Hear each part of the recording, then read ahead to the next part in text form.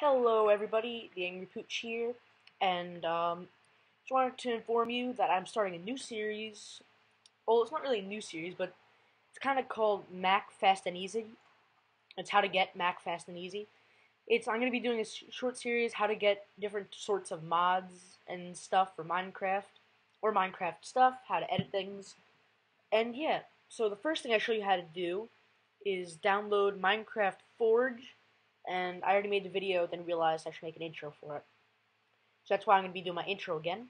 Anyway, so I hope you find, I'm going to have all these in the convenient playlist, so until then, um, you know, get some mods, get me a list of mods, put some mods in the comments, maybe, if you want to, and enjoy this.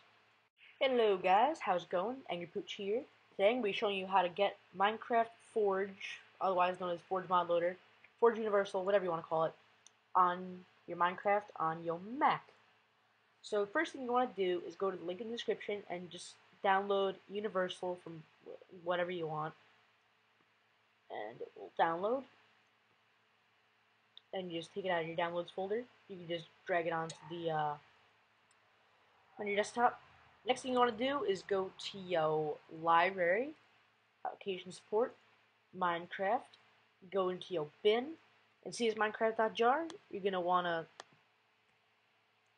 rename it to Minecraft.jar.zip, hit enter, use.zip, double click, move that to trash, and then open up the Minecraft Forge Universal, hit Command A or just drag, and just drag it all the way over to here.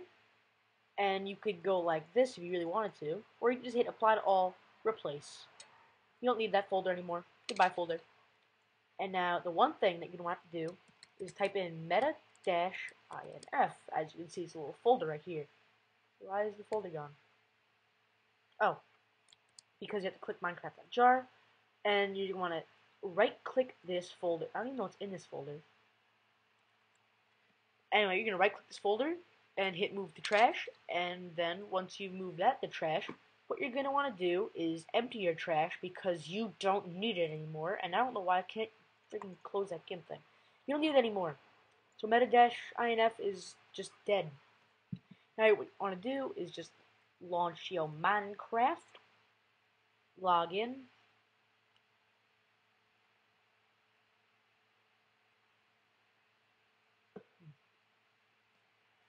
Come on, come on. And there we go. Your three mods will have downloaded is the Coder Pack, Forge Mod Loader, Minecraft Forge. And yeah. So until my next video, have a good day and goodbye everybody.